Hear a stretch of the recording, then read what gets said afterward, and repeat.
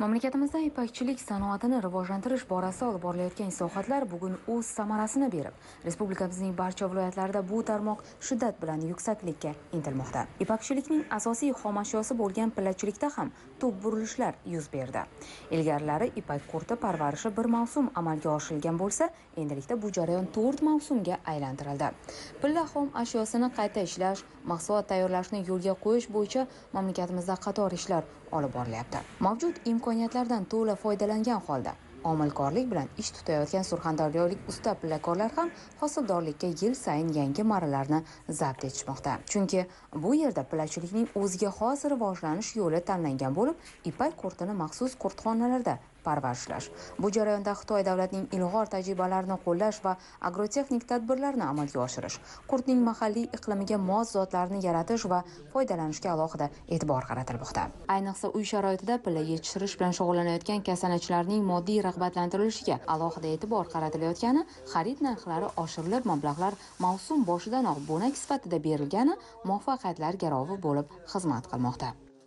O'sha ipak qurtlarini to'liq inkubatorlardan aholilarga va fermer xo'jaliklariga tarqatib berilgan va hozirgi kunda ushbu tarqatilgan ipak qurtlarini texnik e, asosida boqish e, hamda ularni yetishtirish bo'yicha xodimlarimiz va mutaxassislarimiz tomonidan xonadonma xonadon mahallabay ishlar tashkil qilingan va boqish texnologiyalari nazorat qilinmoqda pilla boqish mavsumida o'sha aholiga bo'nak pullar ya'ni avans pullarni berish bo'yicha ham birja narxida unlarni tarqatish e, yog' berish yo'lga qo'yilmoqda.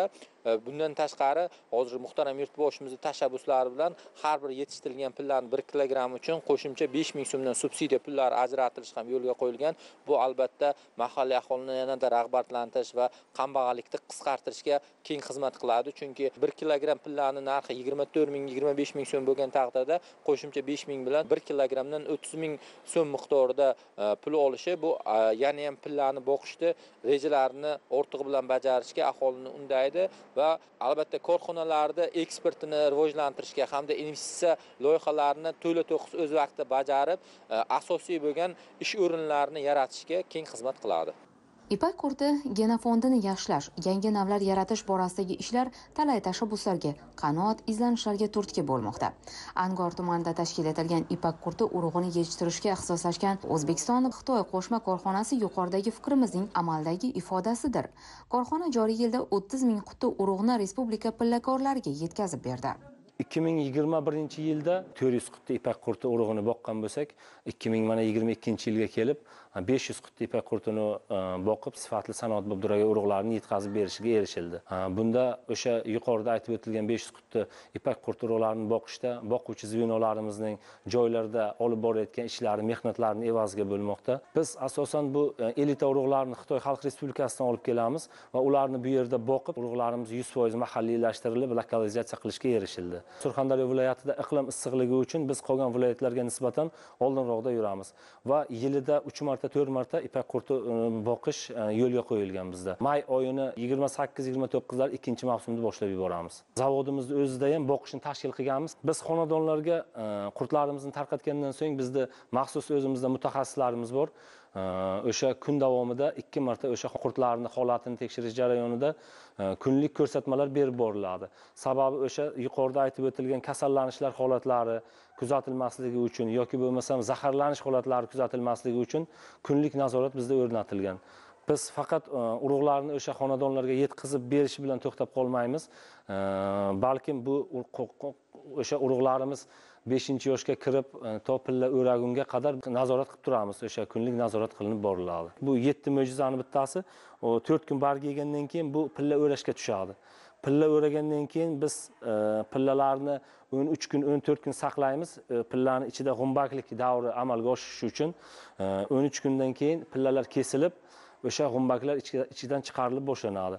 O'sha chiqarilganini evaziga jinsiga qarab ajratilib u e, kapalak yorib chiqadi va kapalaklarimiz jinsiga ajratilgandan keyin so'ng bir biriga chatishtirilib biz urug' olish jarayonini boshlaymiz. Bu ikki ming yigirmanchi yilda urug' olish jarayonimiz bitta. Ota kapalakdan e, deyaylik ona kapalak ota kapalagimizni bir marta chatishtirgan bo'lsak bu ikki ming yigirma birinchi yilga kelib uch marta chatishtirishni yo'lga qo'ydik. Bu degani o'z o'zidan ko'rinib turibdi. E, amalga oshirilgan protsessda besh yuz ellik olti yuzga yaqin urug' oladigan bo'lsak ikkinchilarida ikki yuz ellik uch yuz uchinchisida bir yuz ellik ikki yuzga yaqin urug'lar olishga muvaffaq bo'ldik. Aytish kerakki ayni paytda bu yerda pilla qurti parvarishiga alohida e'tibor qaratilmoqda. Korxonada ellik nafarga yaqin doimiy ming nafarga yaqin mavsumiy ishchilar mehnat qilishadi. Ipak qurtini boqish juda bir nozik. Bu nozikligi o'zi qanday bir mayda ko'zga ko'rinmaydigan bir tuxumchalardan mana shunday ahvolga keltiramiz. Bunga qilgan ozgina noto'g'ri harakatlaringiz yomon ta'sir qiladi. Bizni korxonamizda ustoz shogird an'analari juda yaxshi yo'lga qo'yilgan. O'zimizdan kelayotgan e, masalan mana yoshlarga misol mana shu qizni aytayotgan bo'lsam mana shu qizga ham o'zimiz o'rgatamiz.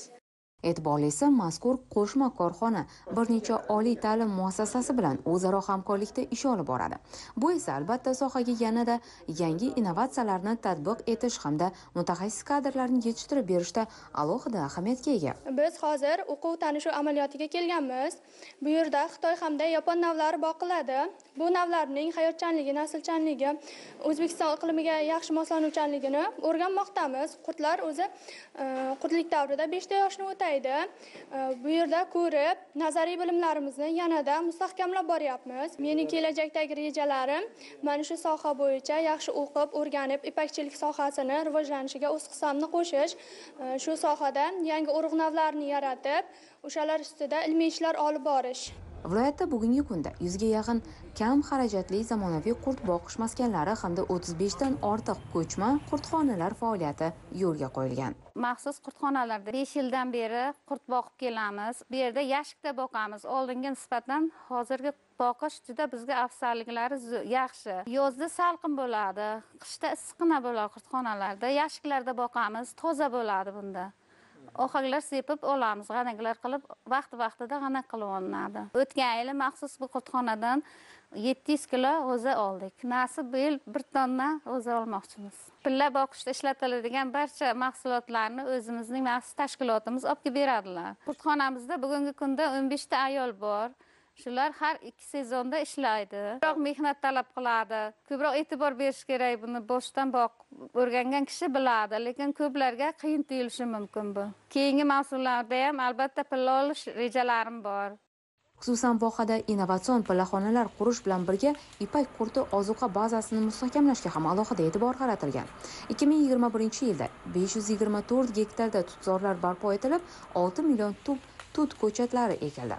Joriy yilning yanvar mart oylarida besh yuz o'n bir gektar tutzorlar yangidan barpo etilibdi. Bundan tashqari dala atroflariga hamda yo'l yoqalariga uch ming besh yuz o'ttiz tub ko'chat qadaldi. Viloyatda shu davr ichida jami olti million sakkiz yuz yetmish olti ming dona tut ko'chatlari ekilgan. Tez yetiluvchan bu tut nihollari issiq va sovuq haroratga chidamli bo'lish barobarida bargini yiliga uch marta o'rib ipak qurtiga yedirish mumkin. Ipak qurtini jonlantirish jarayoni qattiq nazorat qilinib o'z vaqtida kasanachilarga yetkazib berilayotgani yutuqlar omili bo'lib xizmat qilyapti deyish mumkin. Misol uchun angorlik xayriniso tursunova ancha yillardan buyon pillachilik bilan ham shug'ullanib keladi. Qahramonimiz endilikda nafaqat o'zi balki farzandlarini ham shu ishga jalb qilgan. Bu esa albatta oila daromadini oshishiga xizmat qiladi. Shu pillalarni ko'rib katta bo'lganmiz mehr qo'yganmiz. Shunga qiziqib oldim pillani. Necha korobka oldingiz bu yil bu yil uch korobka oldim ilgarigi pilla bilan hozirgi pilla boqishni judayam katta farqi bor. Ilgari so'ralar qilar edik chaylalar qilar edik. Hozir tayyor mana bu yashiklarni olib kelib berishgan bizga judayam sharoit yaxshi qilib berishgan. Bunga chumoli ham o'rmaydi. Bunday xonadon uyga qilsangiz iflos ham bo'lmaydi toza turadi. Shuning uchun mana shu yashiklar men judayam qulay deb o'ylayman. Pilla o'rov judayam toza bo'ladi ham chiroyli bo'ladi. Pilla boqishda hech qanday qiyinchiligi yo'q. Bir oyda bizga o'n besh millioncha daromad qilsa bo'ladi. Ish staj ham yoziladi qancha e'tibor bersangiz mehr bersangiz shuncha yaxshi natijaga erishiladi. Viloyatda ayni mavsumda pilla boqish jarayonlari bilan birgalikda uni qayta ishlovchi korxonalarning moddiy texnik bazasini mustahkamlashga ham alohida e'tibor qaratilgan. Mavjud korxonalar yangi texnologiyalar bilan jihozlanib modernizatsiya qilingan. E'tiborli jihati shundaki mazkur pillani qayta ishlash korxonasiga xitoy davlatidan eng so'nggi rusumdagi zamonaviy texnikalar o'rnatilyapti.